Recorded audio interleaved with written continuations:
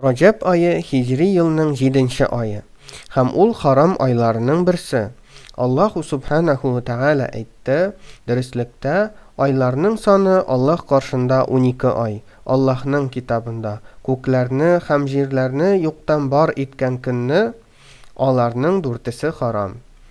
Раҗәб ае, хәер-нигъмәт айлары Шәгъбан белән Рамазанның ачкычы булып тора. Җаһиллек вакытыннан бирле бу ай гарәпләрдә зур урын алып торган. Раҗәб дигән сүз тәҗриб дигән сүздән ясалган һәм ул олылау дигән мәгънәне аңлата. Шул олылау сәбәпле, гарәпләр бу айда сугышны алып барырга курыкканнар. Кайбер тел белгечләре бу айны атау өчен гарәпләр ундүрттән артык исем кулланганнарын китерәләр. Шулардан, Асам, ягъни саңгырау, чөнки бу айда кылыч чыңгылдаган тавыш ишетелмәгән.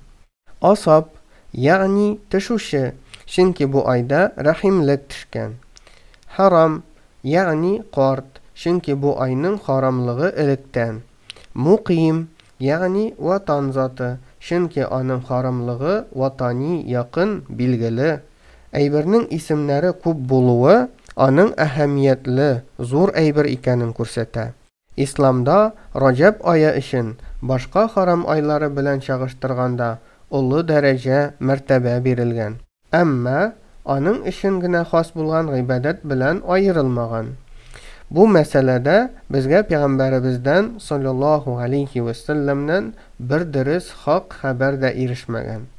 Ибн Тәймия рахимаһуллаһу тәгалә әйткән, Раҗәб аенда махсус гыйбадәт үтәү, Билгеле көнендә яки көннәрендә ураза тоту, Рагаиб кичен һәм көнен билгеләп, зурлап үткәрү дәлилләре, барысы да ялган, уйлап чыгарылган, дип әйткән. Шулай ук Ибнуль Каййим да, рахимаһуллаһу тәгалә, әйткән, Раҗаиб аенда ураза тоту, кайбер кичләрен намазда үткәрү хәдисләре, барысы да ялган һәм нигезсез, дигән.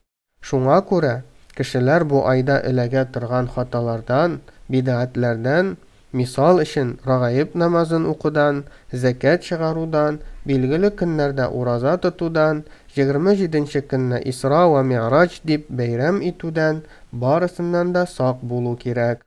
Дөресе, бу айда башка айларда эшләгән кебек хәерле гамәлләрне, нәфел уразаларны, намазларны, гомрәләрне, аларга аерым өстенлек бирмичә, арттырып эшләү хәерле булып тора.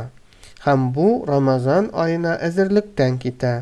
Раҗәб, җил, Шәгъбан, болыт, Рамазан, яңгыр сыман. Һәм кем дә кем Раҗәб аенда орлык чәчеп, Шәгъбанда су сипмәсә, Рамазанда уңышка каян ирешсен?